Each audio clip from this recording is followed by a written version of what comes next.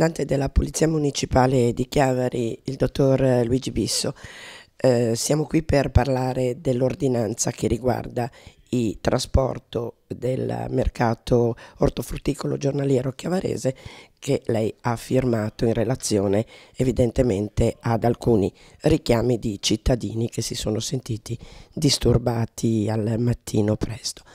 Intanto cosa dice l'ordinanza e da che cosa è stata motivata? Ma, eh, fondamentalmente l'ordinanza è stata motivata eh, dall'esigenza di non disturbare più di tanto il riposo delle persone. Noi prima di farla ci sono stati anche degli inviti verbali e soprattutto c'è stato qualche sopralluogo al mattino presto, anche fatto da me personalmente con, con colleghi, nel, durante il quale abbiamo proprio orecchio eh, verificato che eh, nelle ore mattutine... Cioè, il rumore si, si, amplia, rimbomba nel Carugio e quindi il passaggio di questo tipo di mezzi, soprattutto da vuoti che sobbalzano, eh, crea effettivamente disturbo. Tant'è vero che le proteste di cittadini residenti nel Carugio sono, sono tante, sono state tante.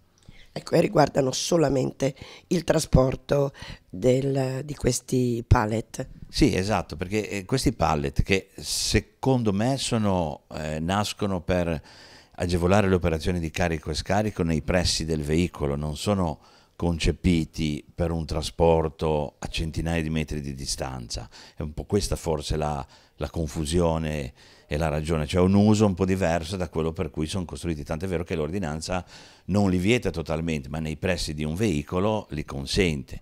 Quindi quello che si vorrebbe è che le merci se devono arrivare da magazzini abbastanza lontani, arrivassero sul luogo del mercato su gomma senza creare disturbo e poi venissero anche scaricate coi pallet, ma limitatamente all'area dove poi si svolgerà il mercato.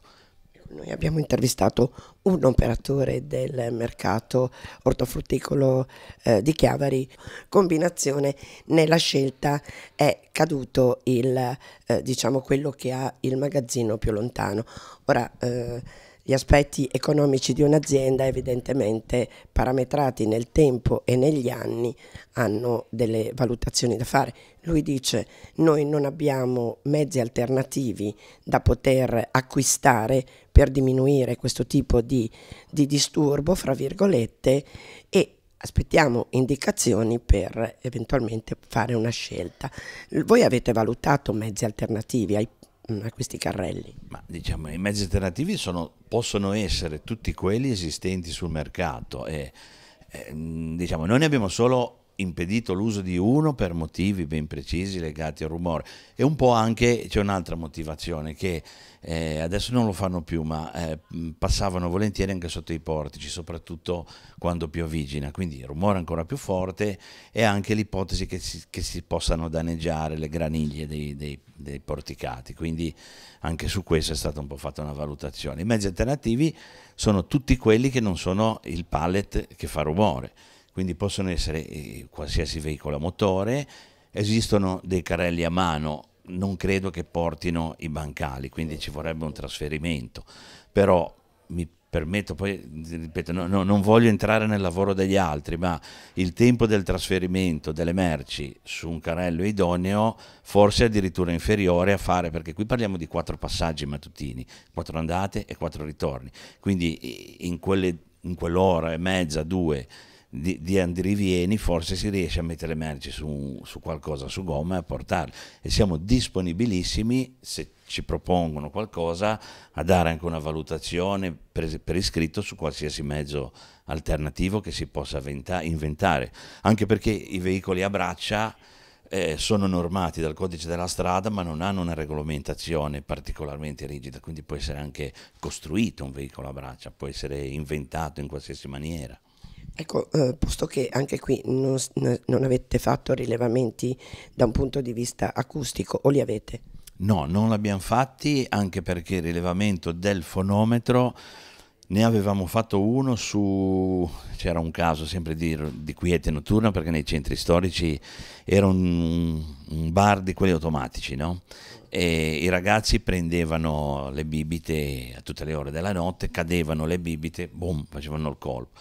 E in quel caso lì il fonometro non ci aveva aiutato perché su rumori discontinui non ci aiuta più di tanto. Quindi l'abbiamo fatto andandoci di persona e verificando che comunque quello che i cittadini lamentavano era vero.